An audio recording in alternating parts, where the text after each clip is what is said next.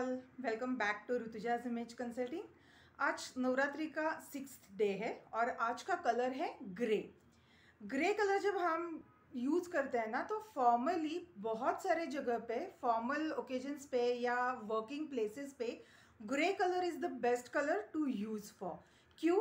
क्योंकि grey colour neutral colour है.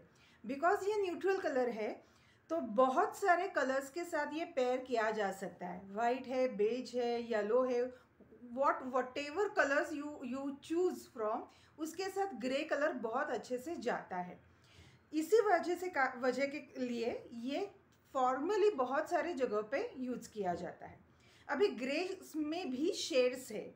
जितना लाइट यूज़ करोगे, उतना वो फेमिनाइन लुक देगा। जितना डार्क यूज़ करोगे, उससे आपकी फॉर्मेलिटी या मस्कुलिन आपका इमेज दिखाई देगा।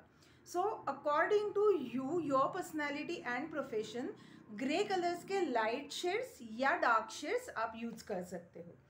प्रोफेशनली तो ये ये बहुत अच्छा कलर है और professionally you can use any shade of greys your third layer your regular wear anything you can wear in grey colour but अभी अगर साइकोलॉजिकली देखा जाए तो ये कलर क्या रिप्रेजेंट करता है?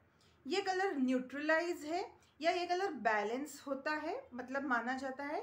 But at the same time अगर साइकोलॉजिकली हम लोग सोचे तो ये इमोशनल इमोशन लेस कलर माना जाता है। मतलब ये कलर थोड़ा डिप्रेशन को भी दिखा दिखा, दिखाता है। ये कलर इमोशन लेस है, इसलिए वो मूडी भी माना जाता है। वैसे ही ये कलर एक्चुअली आपका थोड़ा सा रेस्टलेस भी मतलब अगर you are not stable from your mind तो ये कलर वो भी एक्चुअली रिप्रेजेंट करता है। सो इन इन दिस साइकोलॉजिकल वे ये थोड़ा, ये जो कलर है वो थोड़ा रेस्टलेस या थोड़ा निगेटिव फ़ेज़ में हम लोग बोलते भी है ना कि ग्रे शेड का कैरेक्टर है। अगर मूवीज़ में हम लोग देखते हैं ग्रे शेड का कैरेक्टर मतलब क्या?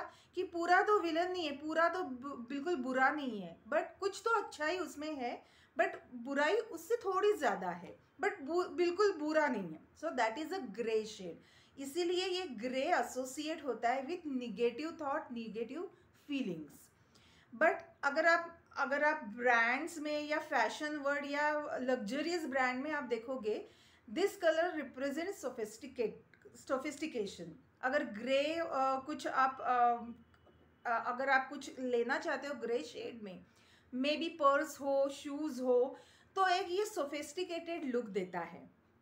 So grey colour is very safe to play with you can pair with many colours bright colours के साथ आप डार्क ग्रे यूज़ कर सकते हो। लाइट ग्रे के साथ आप थोड़े डार्क कलर्स भी यूज़ कर सकते हो। So you have multiple options in your hand where you can pair the grey colour with various colour अभी ग्रे के साथ बहुत अच्छे कलर्स कौन से जाएँगे? रेड अच्छा जाएगा पिंक अच्छा जाएगा ब्लू अच्छा जाएगा।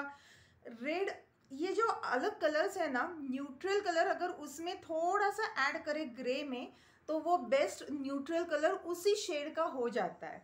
सो ब्राउन ग्रे भी होता है ब्लूइश ग्रे भी होता है रेडिश ग्रे भी होता है।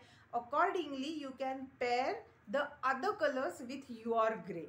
So see what kind of gray is there with you और वो आपकी पर्सनैलिटी कैसे दिखाता है और क्या अदर ऑप्शंस है अवेलेबल आपके पास जो आपके ग्रे के साथ जा सकता है और ऑब्वियसली ये भी देखो कि आप कहाँ पे जा रहे हो ऑफिशियल या किसी इंपॉर्टेंट मीटिंग के लिए जा रहे हो क्या, या कैजुअल डिनर या आउटिंग के लिए जा रहे हो accordingly you can pair the colour with other colours casual है तो थोड़े कैजुअल कलर्स के साथ आप पेयरअप कर सकते हो फॉर्मल है तो ऑब्वियसली न्यूट्रल कलर्स और फॉर्मल कलर्स के साथ आप पेयर कर सकते हो.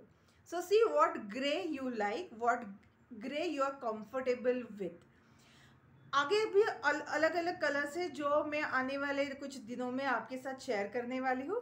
सो से stay tune with me so that आप आगे जो भी कुछ कलर है उसका भी हमारे मन पे क्या इफ़ेक्ट होता है वो आपको समझ में आएगा। Thank you